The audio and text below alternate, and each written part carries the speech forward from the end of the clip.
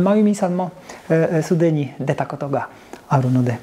盛大な拍手をお願いしますありがとうございます今日の話題が即興ですピアノは鍵盤だけじゃなくて他のうんところでも触ればさまざま音出るゲームもぜひ、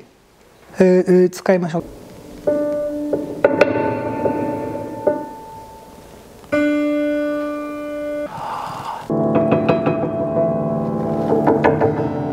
間違えたらポカーフェイス。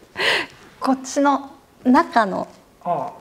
えっとが難しい。はいとても綺麗なバロックっぽくなります